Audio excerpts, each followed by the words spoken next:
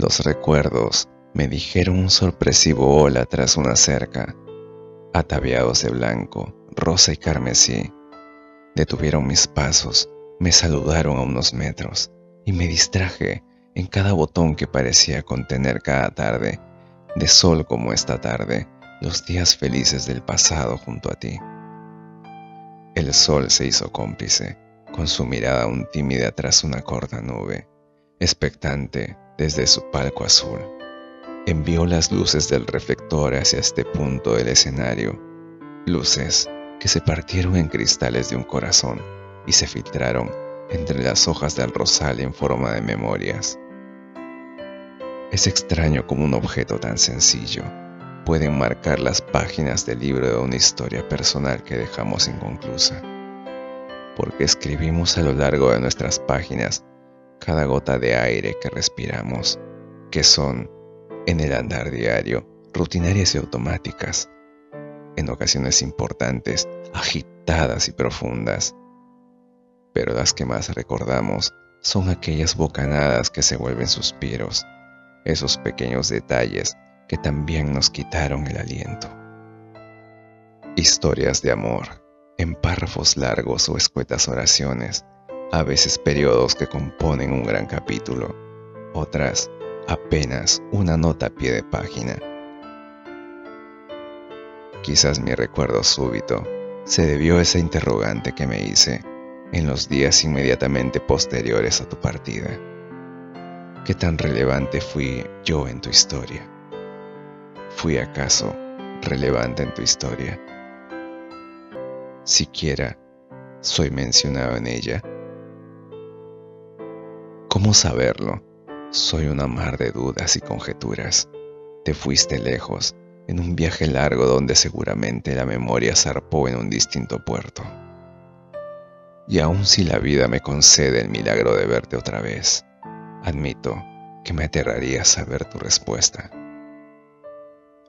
Desde el día en que te conocí, el destino nos cruzaba siempre como testigo un rosal. Capítulo a capítulo te tengo resaltada entre pétalos, en las páginas donde la prosa se vuelve verso porque es increíble haberte conocido.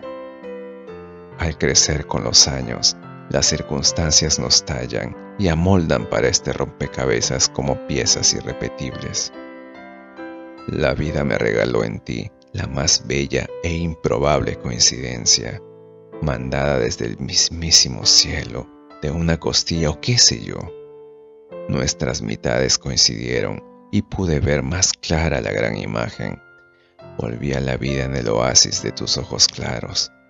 Vi a través de los tuyos y todo para mí dejó de ser territorio árido, con esa manera de entrecerrarlos cuando ríes, dejando escapar tu luz, cual sol sobre las aguas. Y algo pasó, porque después de verte a ti, los míos emularon tus destellos, como los de aquel pequeño lago en nuestras tardes alegres y raudas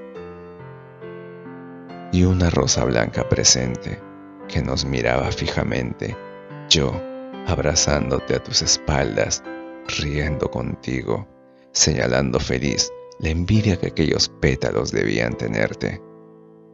Rodeada entre mis brazos, en ti recostado y rendido, cual náufrago en las olas de tu cabello, embriagado de tu esencia, no necesitaba rescate.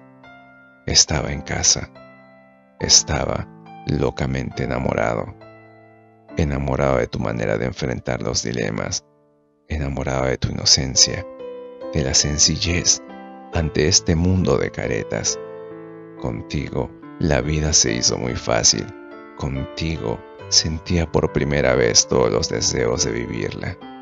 Rendido ante tus lágrimas, rendido ante los matices de tu voz, y hasta de lo terca que a veces te ponías, o ese gracioso ademán, cuando a propósito te sacaba de tus casillas.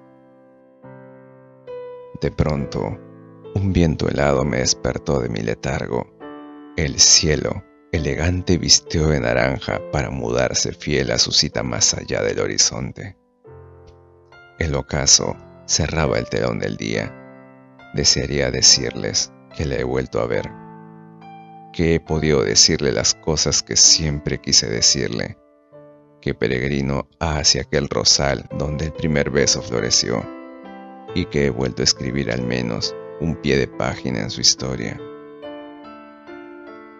Era mejor retirarme. Seguí mis pasos. Pero por un instante volví a ver hacia atrás. La felicidad en sus jóvenes rostros. Ella con la cálida gracilidad del viento estival. Él con el semblante de quien ve por primera vez a su Eva. Felices ambos contemplando aquel rosal. Una nueva historia que se escribe, dejando pétalos nuevos en su flamante historia de amor. Entonces suspiro, sonrío y continúo mi camino.